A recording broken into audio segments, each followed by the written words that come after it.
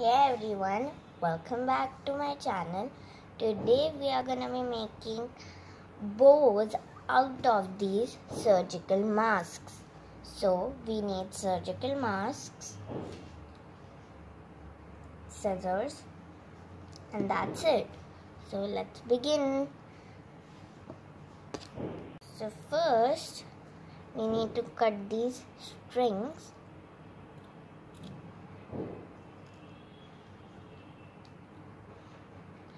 and keep them safe for later. Now we need to cut all the stitched sides like this. So I cutted all the stitched sides. Now let's open it. Now it's like a hanky, handkerchief. So now we need to do a fan fold like this.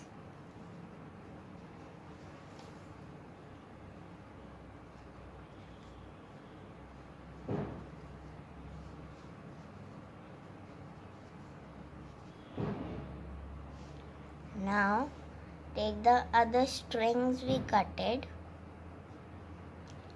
and fold it and then just tie it.